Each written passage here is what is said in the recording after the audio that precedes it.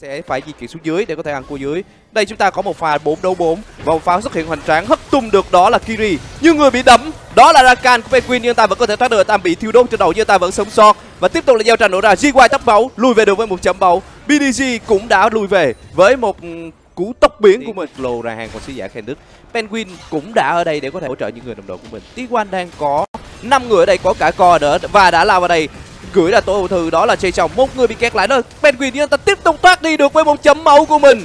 Truy đuổi theo đó là illusion. Anh ta có được mã hạ gục. Bên phía bên này thì co đang quẩy với co kali của mình. Găm phi tiêu chính xác có được mã hạ gục của rabbit sau đó quay ngược trở lại tiếp tục với chiêu cuối. Sắc chiêu hoàn hảo của mình. Nhưng illusion vẫn đang rất lực với con rive này của mình. Và anh ta vẫn đang cùng với người đồng đội của mình là Yuzin đang càng lên. Nhưng bây giờ anh ta đã phải lên bàn điểm số. Và Yuzin cũng đã phải đi theo anh ta. Bây giờ thì họ đã có điều đó. Và họ chủ động ăn rồng nếu như T1 muốn can thiệp vào hang rồng thì họ sẽ sử dụng bộ combo của mình.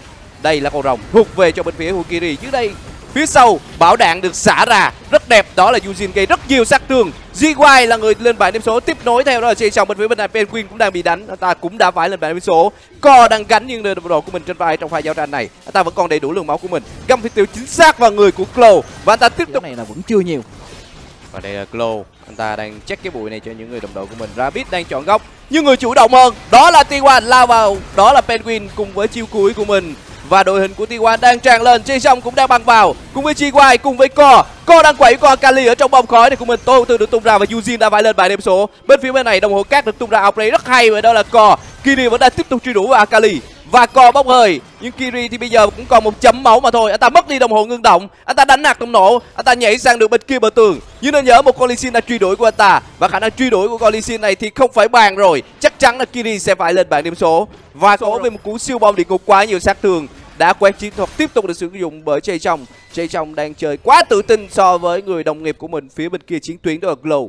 Đánh quá triệt để đến từ bên phía của T1 khi mà họ biết được rằng Kiri không còn tốc biến, không còn đồng hồ ngưng động thì nhưng mà khoan đã giao tranh này tiếp tục mở ra. Đó là một pha fake Baron mà thôi và đây rất nhiều người khác của Lisbon tiêu máu. Yuzin đã đi rồi. Bây giờ còn lại Rabbit. Rabbit cũng đi nốt. Người cuối cùng còn lại của Lisbon trên bản đồ đó là Glow. Anh ta không làm bất kỳ một điều gì cả mặc dù đã có cú cầm kiếm anh ta cũng đang nữa. lính đang được đẩy vào nhà chính nhưng cái nhà chính này có một lớp giáp. Khi mà hai trụ liên tục được đẩy cùng một đường thì sẽ có một lớp giáp được bước vào nhà chính.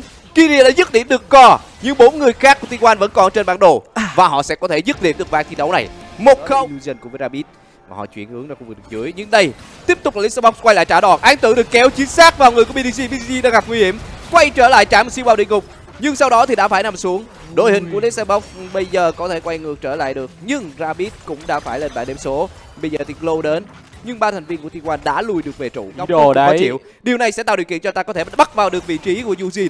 Yujin nếu đi hớ một bước ngay lập tức thì Zequai sẽ bắt vào. Và tối ưu tư đã được gửi ra vào đầu của Illusion. Giao tranh đang được nổ ra. Co đang được chơi từ giữa đội hình của Lexebox và bên phía bên kia thì co thấp máu ta đang phải lùi đi. Glow đang lùa toàn bộ đội hình của T1 và Kiri là người có được bài hạ gục của Jay Trong ở trong tình huống thi đấu này. Quá và con cũng đã phải lên bài điểm số.